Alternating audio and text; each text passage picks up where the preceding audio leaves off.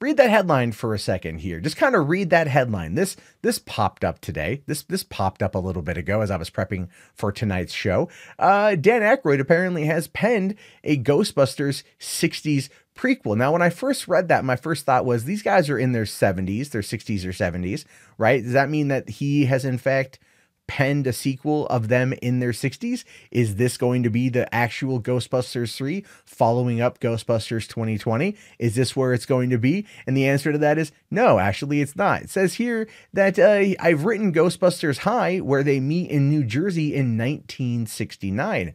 And we're looking to do that as probably a glorified p- feature or pilot within maybe the next five years. And it would lead to a television project. And I thought of Jason Reitman immediately for that. It's on his desk, but that's years away from the current project. But it's a neat idea for a prequel. Imagine casting three characters as teenagers. We have at least one or two other concepts for the Ghostbusters, and then we'll look at doing a prequel, which will be the perfect button on all that we've done up until that point. Now, if you recall, Dan Aykroyd has talked quite openly about how he wanted to do a Ghostbusters cinematic universe. He mentioned this a couple of years ago, and one of the prospects that he mentioned, one of the project ideas, was Ghostbusters in high school.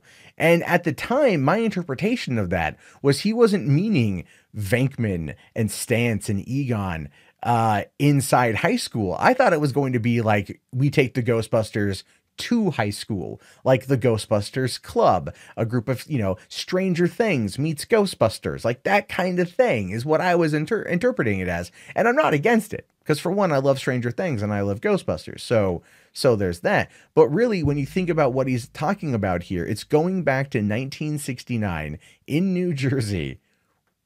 Venkman, Stantz, and Egon all hanging out in high school Venkman obviously trying to trick the ladies into getting with him as he did, did in the first movie, and Ray and Egon, you know, desperately working on their product, their projects. Now, this could be specifically where they end up learning about ghosts and where they end up, you know, to trying to determine whether or not this stuff exists. However, even though it's coming from Dan Aykroyd, who did create the franchise with Ivan Reitman and Harold Ramis, I do kind of feel like this would be stepping backwards. I don't feel it's necessary.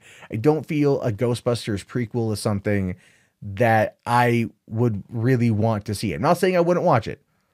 Because if it comes out and it's Dan Aykroyd produced or he's involved in any way, yes, I'm going to watch it. A hundred percent going to be there. Like, all right, let's go, let's go let's do it. Right. I'm to be all, all ready for that. I'm to be super happy to see it. But I also realize that it's kind of like not necessary and I don't want it to be necessary, you know. But he says here also we have one or two other concepts for Ghostbusters and then we'll look at doing the prequel.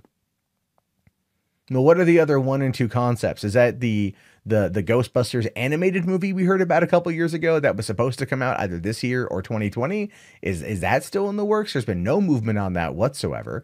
We do know that there is going to be in just a couple weeks at Ghostbusters Fan Fest in Los Angeles. It's a 2-day event at the Sony lot and it's like pretty expensive to go. I think it's also kind of sold out. So hopefully out of that we're going to get a lot of news surrounding Ghostbusters, a lot of news surrounding what's going to be coming down the pipeline and maybe a peek at just what's going to be going on with Ghostbusters 2020 and get a little bit more information. So in the meantime, I'm really hoping that Aykroyd uh, gives us something good and that we're able to have some stuff to take home because as far away as we can get from the 2016 reboot and back on track with current Ghostbusters, we're all we're all 100% better off. And I and I don't think that I'm the only one here to to even remotely think that and and, and we all know it. We all want to forget that movie exists. There's maybe like 20 people who are like, I loved Ghostbusters 2016. No, you don't. no, you don't. You don't like it. You were told to like it. You were lied to. Get on board with the good stuff. Although, then again, I've defended the Game of Thrones series finale quite a bit, and people out there probably would say the same thing to me. So, like what you like, but we can have friendly disagreements.